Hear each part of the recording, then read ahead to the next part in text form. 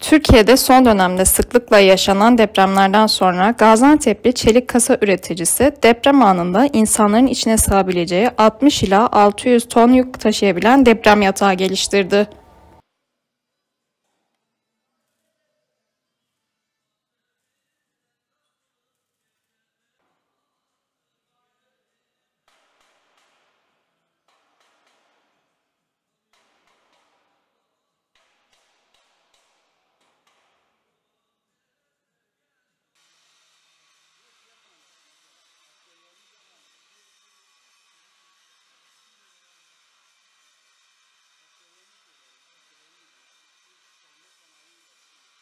Deprem yatağı deprem anında insanların mesela sandviç olan binalardan kendilerine bir yaşam üçgeni yaratacakları, kendilerinin ezilmelerini önleyecek bir e, çelik konstrüksiyon bir yapıdır.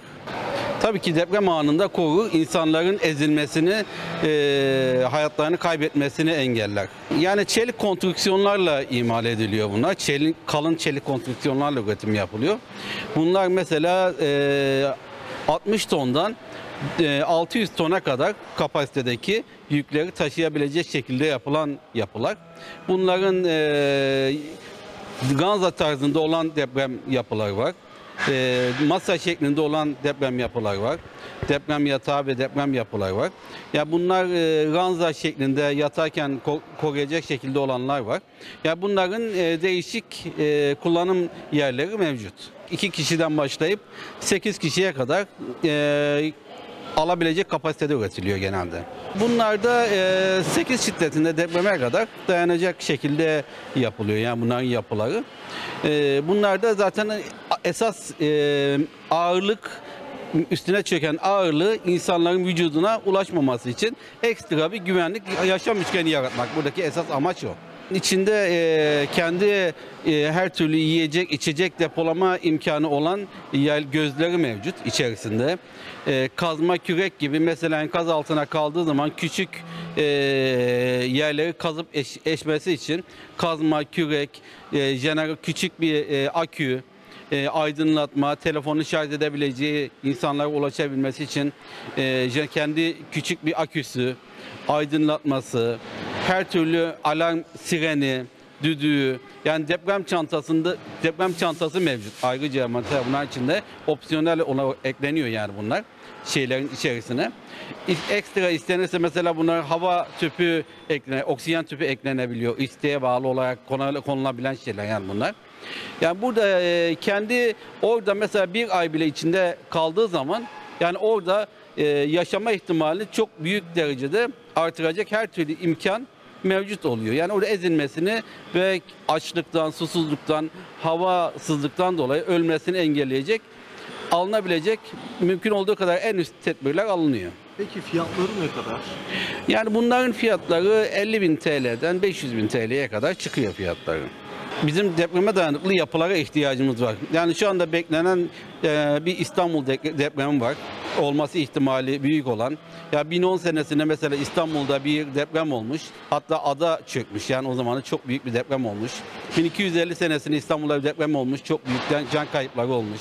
1509'da çok gene büyük bir deprem olmuş. Orada o zaman da hatta büyük e, küçük kıyamet demişler. Yani o zamana 1509 senesinde. O zaman yılda Yavuz Sultan Selim e, iktidarda olduğu, e, padişah olduğu dönemde. Yani o zaman da e, yapılar İstanbul bü- büyük ölçüde yıkılmış yani o dönemde. E, 1750 yıllarında yaklaşık 250 yıllık aralıklarla o zamanda da gene büyük bir deprem olmuş. 1509'daki kadar değil ama yani şu andaki bilim adamları da 2000 şu anda 250 yıllık süre geçmiş durumda. İstanbul'da da büyük bir deprem olma ihtimali mevcut. Yani şu anda bizim depreme dayanıklı binalara, yapılara her türlü e, imkana şu anda ihtiyacımız var. Ya şu anda insanlarımız her türlü e, böyle bina alırken, daire alırken veya iş yeri alırken deprem izolatörlü, deprem yataklı böyle yapılara öncelikli e, ihtiyaçları mevcut. Ya bunun da yani ülkemizin yani iktidarıyla, muhalefetiyle bu konuya ağırlığını verip çünkü bu ülkemizde insanların can ve mal kaybına, ekonomisine büyük bir zarar verebilecek bir durum.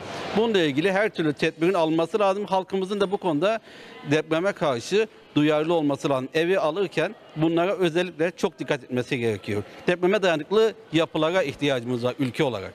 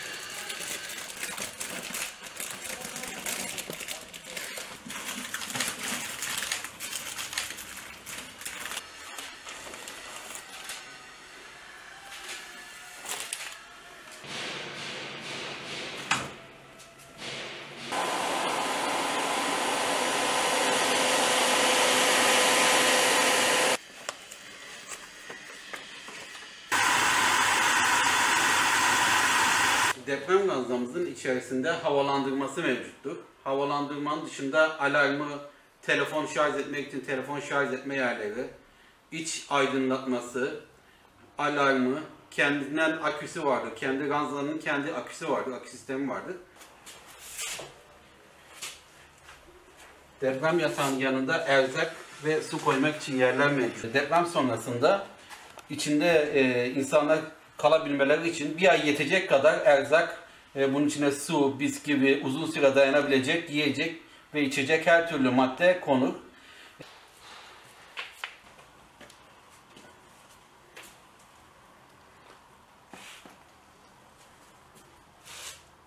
Çünkü içinde ne kadar kalacağı belli de sonuç itibariyle.